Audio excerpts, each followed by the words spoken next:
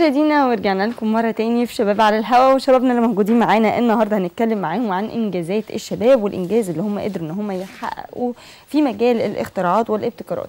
الحقيقة إن هم عملوا ابتكار مميز جدا جدا فك يعني فكروا فيه من خلال دراستهم قاموا في المعهد التكنولوجي بالعاشر من رمضان عرضوا وناقشوا ابتكار غواصة بالتحكم الآلي تحت الماء وتم مناقشة الابتكار الخاص بيهم طبعا في كتير جدا من المسابقات. وفازوا بالمركز بالمراكز متقدمة ومنها في مسابقة إبداع التابعة لوزارة الشباب والرياضة.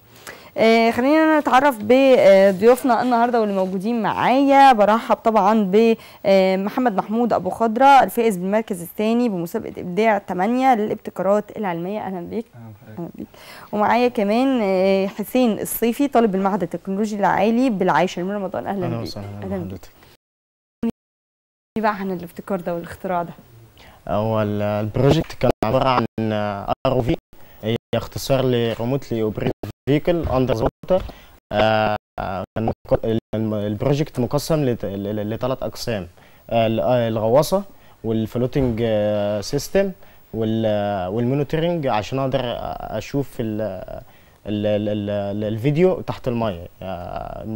أنا مثبت عندي على ال TMS system ده مثبت عليه ال power source عشان أقدر أزود الغواصه بال power اللي هي محتاجاها مثبت عليها two battery علشان أقدر أخد منها ال consumption ال power اللي هي محتاجاها مزودها بنظام solar charging system عشان أقدر أشحن البطاريات البطاريات بتديني 2 hour under the water وعندي ال solar charge ده بيمدني بال power بحيث يشحن البطاريات عشان اقضي المهمة ب ب بتمام يعني. بنجاح. بنجاح آه. تمام.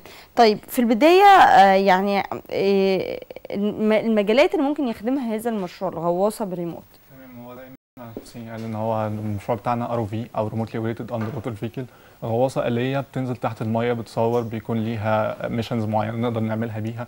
هي إن إحنا بناخد live streaming فيديو من تحت المية وصور إن إحنا نبعتها وفيها كمان robotic arm نقدر نعمل بيه mission مختلفة تحت المية. فالمجالات اللي إحنا بنقدر إيه هي ال mission دي؟ آه المجالات اللي إحنا نقدر نخدمها فيها زي مثلا ال petroleum service بنعمل مثلا cleaning لل platform الموجودة اللي هي في ال petroleum أو في الاماكن اللي فيها الحقول بتاعة البترول. بنعمل cleaning بنعمل visual inspection أو الفحص البصري. لو في مثلا cracks أو في مثلا leakage في مكان معين نقدر نعمل تحديد المكان بتاعه. بالنسبة كمان نقدر نستخدمها في مجالات ال emergency وال rescue اللي هو لو في حد لا قدر الله غرقان نقدر إن إحنا نودي ال ROV بتاعتنا إن هو يسحبه بيها عشان ننقذه بيها في وقت معين أو في وقت أقل. في كمان مجالات زي ال aquaculture أو الزراعة استزراع السمكي زي ما إحنا شايفين مثلا.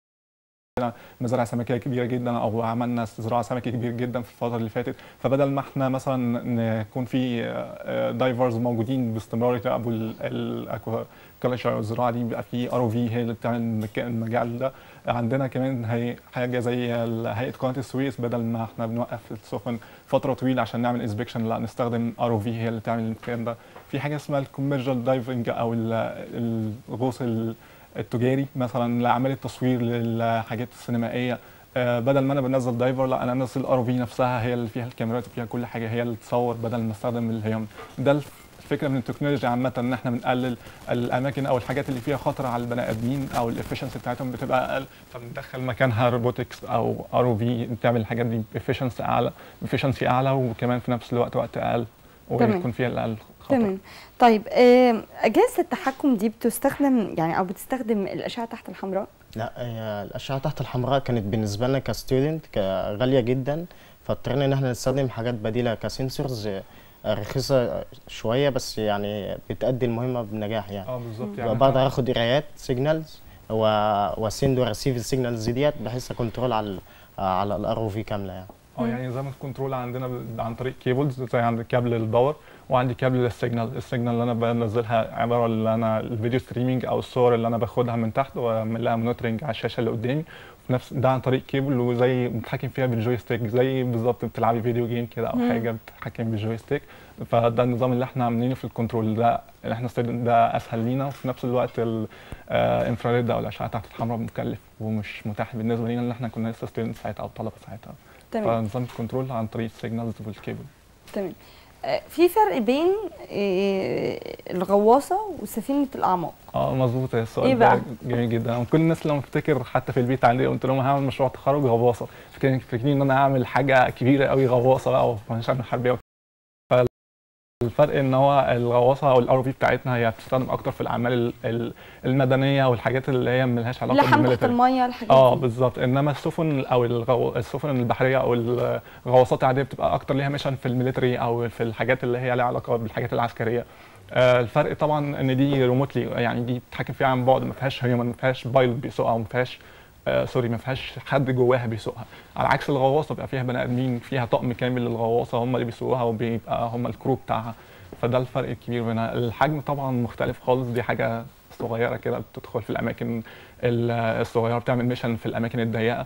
آه، ال- العمق بتاعها محدود نسبيا بالنسبة للغواصات التانية أو الحجم الكبير. ال mission بتاعتها مختلفة. دي ليها mission أكتر في اعمال ال research والبحث أكتر. تمام.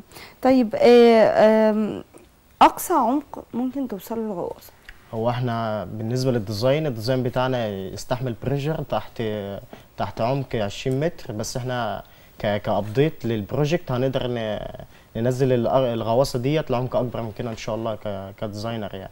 تمام. العمق ده مرتبط بالمدة اللي تقدر إنها تبقى موجودة تحت المية. آه أكيد العمق بيكون ليه تأثير على المده لأن كل ما العمق زاد كل ما أنا ال thruster أو اللي أنا آه، بحتاجه عشان أعمل up أو down ده بيزيد فبالتالي بياخد بيستهلك أكتر في ال power source بتاعي من ال power source بتاعي. فكل ما العمق زاد ده بيأثر طبعا بيأثر كمان على حاجات تانية. إحنا دلوقتي بننزل electronics وحاجات آه، ما ينفعش يحصل لها leakage أو يدخل مية جواها. فأنا لازم أخلي ال control box بتاعي العزل بتاعه يكون كويس جدا عشان أضمن إن ما يحصلش leakage أو حاجة ميه تدخل جوه ال electronics فالجهاز كله هيبوظ لو المية دخلت. فده بيكون ال limitation على على العمق اللي إحنا نقدر نوصل له. آه، طبعا كمان آه، لو أنا هنزل عمق أكتر فأنا بحتاج thruster أعلى أو بحتاج آه، كيبل وزنه أك- أكتر أو الأحجام كمان بتبقى أكبر. فده كل ده بيأثر على الدبس أو العمق اللي أنا أقدر أوصل له. تمام.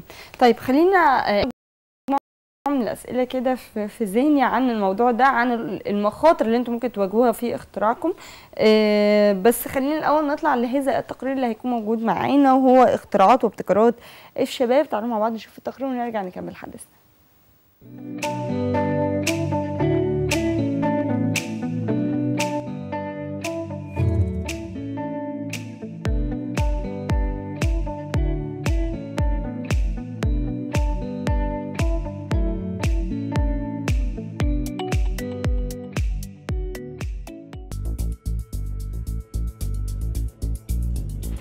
إن تحقيق الأهداف والأماني التي تتطلع لها الأوطان غاية ومطلب نتوق له وتتوق له النفوس والقلوب لرؤيته.